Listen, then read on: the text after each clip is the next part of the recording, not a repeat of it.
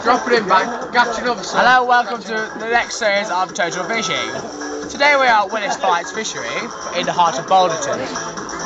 So on a large lake, maybe two acres, the, the whopping two carp to one and a half pound. Whopping two and a half pounds. Yes?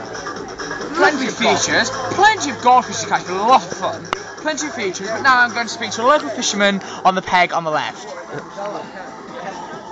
Maggie, speak to the local fishermen. Well, tell me about this lake. Well, I fished this for 40 years. That's a massive carp out of it.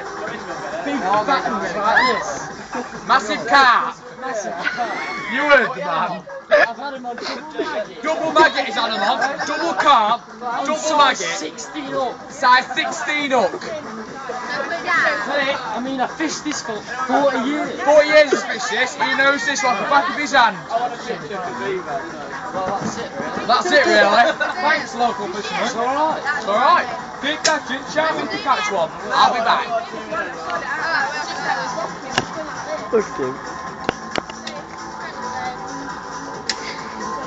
Hey, Baggy, there's a couple down here. Right. Today we're going to uh, try the tactics that the local fisherman told me. Hopefully I'll catch one with a big carp up to two and a half pounds.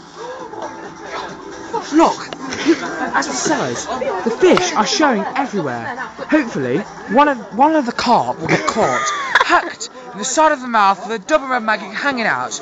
Please, here's another local fisherman with the pre-bait. He pre-baits, he pre-baits his peg every single day.